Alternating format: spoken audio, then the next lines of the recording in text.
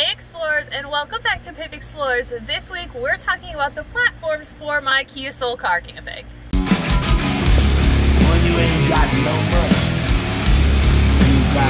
So Caro L on YouTube had asked me for a more in-depth video about my platform so this is for you. So I have two platforms that my lovely husband helped make for me for my Kia Soul and we're going to deep dive into like what their construction looks like and stuff. And then additionally, I'm going to put up a blog post that'll be linked in the description that has like the dimensions and everything in case you are trying to recreate this on your own. So let's get started.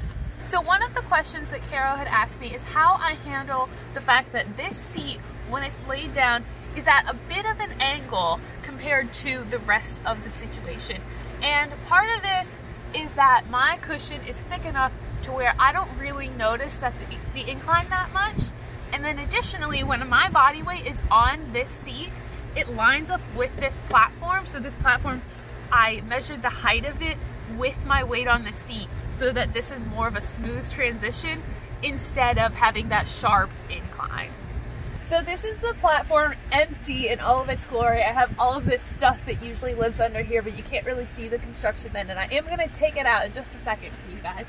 But so as you can see, we have this outside frame that gives it some structure, as well as legs that are different lengths because of the shape of this wheel well. So because of how Kia Souls are designed, you can't just put four legs all the same length, it doesn't work out.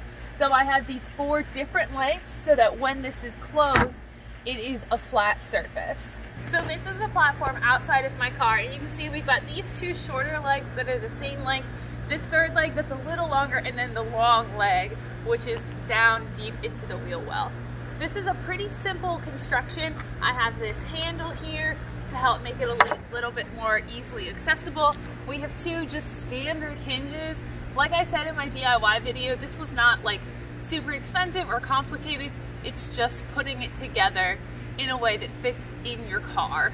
So that is the basic information on my platform. Again, there is a blog post linked in the description below this video if you want more specifics about dimensions on any of the platforms that I have in my car.